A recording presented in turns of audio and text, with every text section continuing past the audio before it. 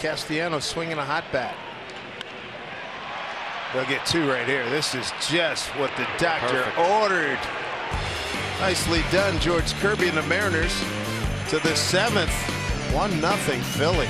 This double play was right on the money, wasn't it, Dave? No, Jose Caballero fields a ground ball, takes it himself, and it's just what the doctor ordered. Phillies knocking on the door right there, first and third.